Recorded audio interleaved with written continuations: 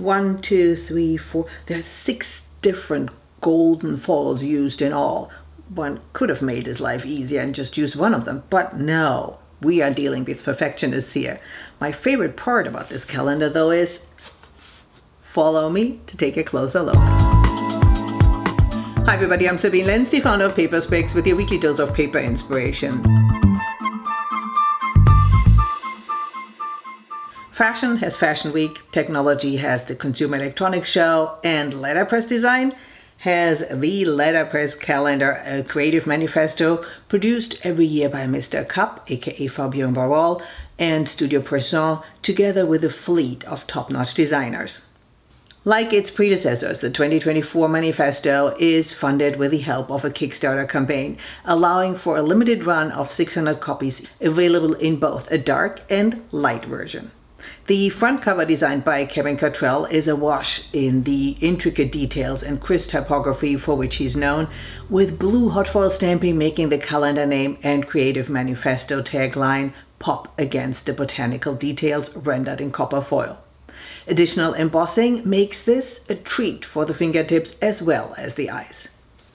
The front cover is actually a slightly tweaked version of the one that Cantrell designed for the 2017 edition.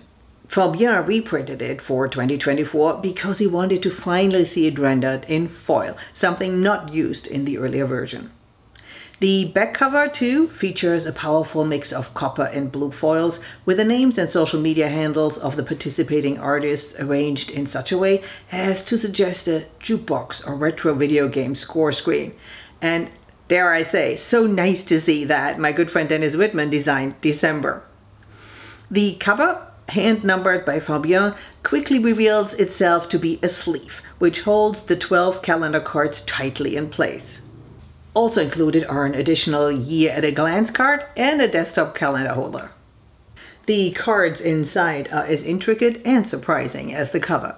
First, they use a 700 gram Favini Sumo black or white, depending on the edition, which not only makes them super thick, but also eliminates the bruising that would usually be seen on the back as a result of the hot foil stamping when using a normal cover sheet.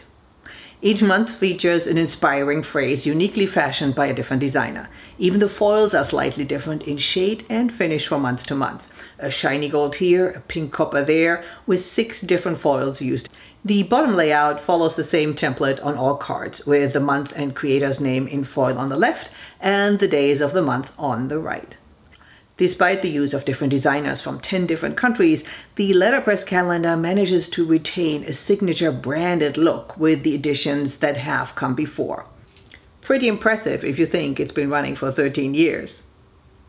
While hot foil stamping was a perfect choice for this scrumptious calendar, there are so many options available to you today to add foil to your printed projects. Get a quick overview of all your traditional as well as digital options and download a free foil cheat sheet right now.